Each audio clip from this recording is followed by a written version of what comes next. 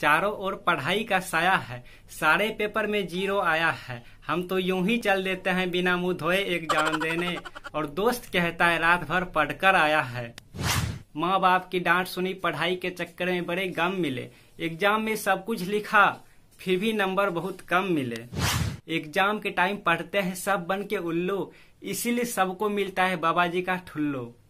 इस वीडियो में आपको बताने वाला हूँ कि एग्जामिनर कॉपी चेक करते समय कॉपी में क्या देखने के बाद फुल मार्क्स देते हैं, फुल नंबर देते हैं। सपोज़ आप पढ़ने में टैलेंट हैं, आपके सिलेबस कंप्लीट होने वाला है, ये सिलेबस कंप्लीट हो गया है। और आपके एग्ज़ाम पेपर में आई मीन कॉपी में एग्जामिनर जी को ये चीज़ देखने को नहीं मिला, जो मैं आपको बताने वाला हूँ तो फिर आप गए काम से।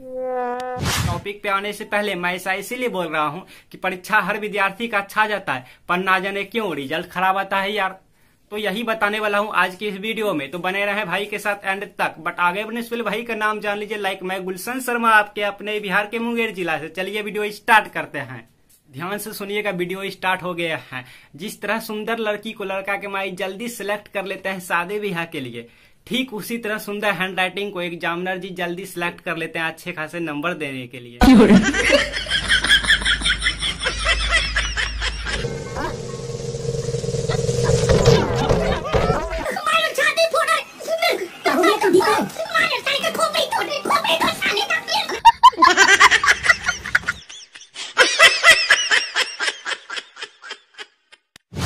कुल मिला के मैं आपसे ये कहना चाहता हूँ स्टूडेंट जी, कि सबसे पहले एग्जामिनर आपका हैंड राइटिंग देखते हैं।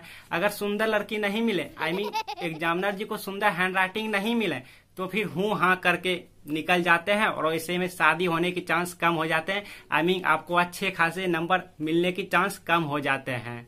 और नंबर टू आपके कॉपी का पहला पेज अच्छे से साफ़ साफ़ लिखी होनी चाहिए, ज़्यादा कटकुट नहीं होनी चाहिए। Because first impression is the last impression इसलिए आप ज़्यादा से ज़्यादा कोशिश करें फ़र्स्ट पेज अच्छे से लिखने की, उसमें ज़्यादा कटकुट ना करने की। जितने अच्छे होंगे, उतना ही आपका अच्छे अंक बनेंगे बिकॉज़ हम रिपीट करना चाहेंगे first impression is the last impression तो इस बात को आप ध्यान में रखिएगा। फिर लड़का को माई आपके खाना बनाने का तरीका देखते हैं। आपने सब्ज़ी में नमक दिए भी हैं या नहीं? और दिए भी हैं तो कितना दिए हैं?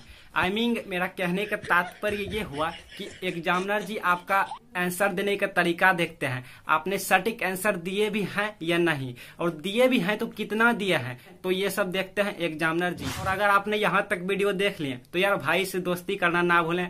लाइक सब्सक्राइब ज़रूर करें। और इस वीडियो को हो सके ज़्यादा से ज़्यादा स्टूडेंट जी के पास शेयर करें ताकि उनको भी मालूम चले।